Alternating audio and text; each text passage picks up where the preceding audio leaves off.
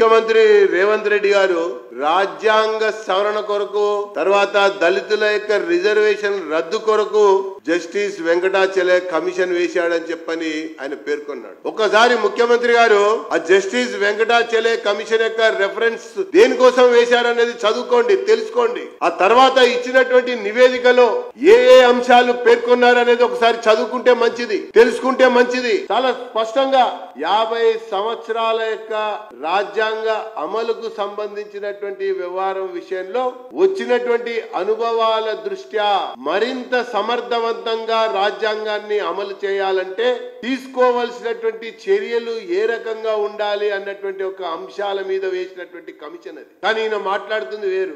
ఈయన చెప్తుంది వేరు. పది రకాల విషయాల మీద అధ్యయనం చేసి ఒక నివేదికని కూడా సమర్పించడం జరిగింది. దాంట్లో ఎక్కడ కూడా రిజర్వేషన్లు తొలగించాలన్నటువంటి మాట ఉన్నటువంటి ఒక సందర్భం లేనే లేదన్నటువంటి అంశాన్ని నేను సందర్భంగా తెలియజేస్తా ఉన్నా.